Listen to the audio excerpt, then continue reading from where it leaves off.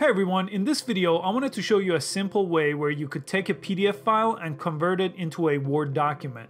So to do that, you need a Google account. So if you already have one, you could just follow along. If not, sign up for one. But if you already have a Gmail or a YouTube account, you already have one. So go to google.com and up here, click on these squares and you want to go to your Google Drive. This is where we're gonna access our file.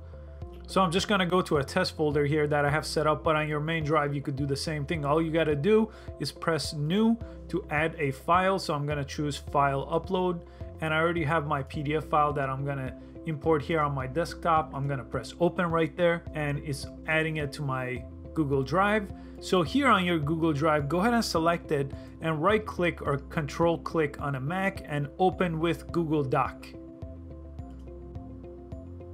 So at the time of the recording, Microsoft Word actually doesn't open PDFs like Google Doc does. So once you have it on Google Doc, you could just simply go to File, Download As, and Microsoft Word.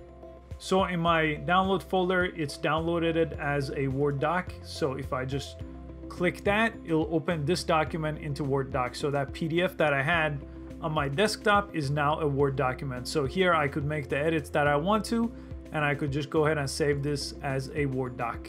So if you have any formatting issues when you do this conversion, you could try another method, which is a browser-based app called PDF to doc.com. So if you go on this app, you could basically upload your file here and then just press download to download it to your computer. So now if you click your download link, it'll bring it into Microsoft Word with the correct formatting. I hope one of these two methods solve your problem. Please give this video a thumbs up and subscribe to this channel to help me out for a lot more how-to videos like this one. And I hope to see you on the next video. Thanks for watching.